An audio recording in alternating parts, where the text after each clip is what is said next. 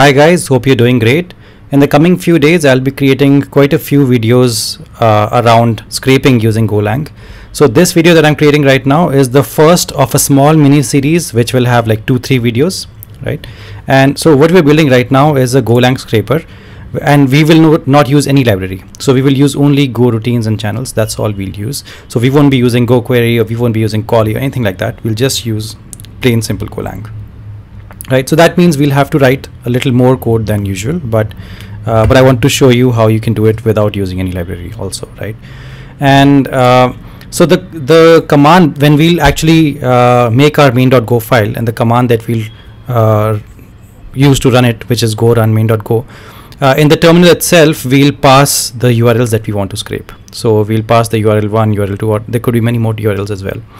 And what we want the scraper to do it's, it's going to be a very simple scraper firstly and what we want it to do is it's going to print out any unique links that it finds on these urls okay?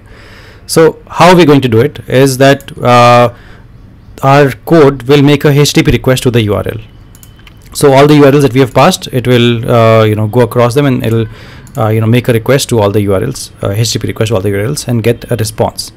And we'll use this package a net slash HTML uh, package to uh, parse the response the, the HTML response. And uh, the output of this uh, package is usually segregated into tokens right? And the tokens that we get uh, look something like this. There could be an error token there could be a start tag token end tag token.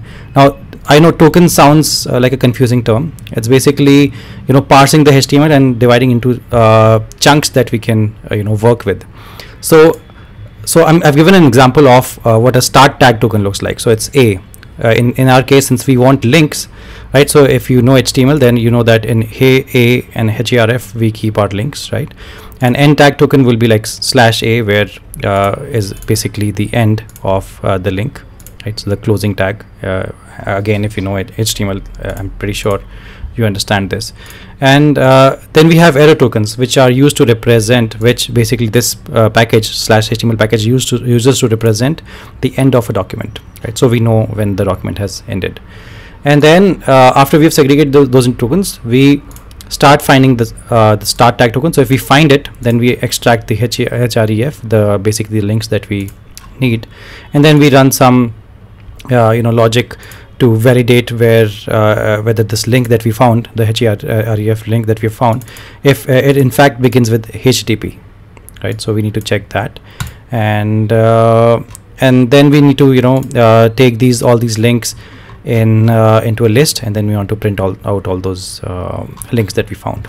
So those will be the steps that will be after this. So this is uh, in general what we're building right now and like I said we won't use any library so uh, we'll have to use routines right? So for each URL the each URL that uh, the user passes in the CLI or in the terminal uh, we'll have a separate routine. So for URL 1 we'll have a separate routine. For URL 2 we'll have a separate routine right? And then we'll have two uh, notification channels.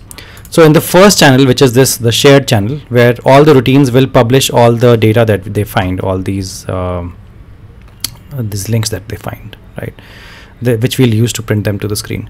In the second channel, we'll have uh, something called as a notification channel where each routine will say that you know this uh, website is done, basically like publishing a done message, so that we know when to print to the screen, right?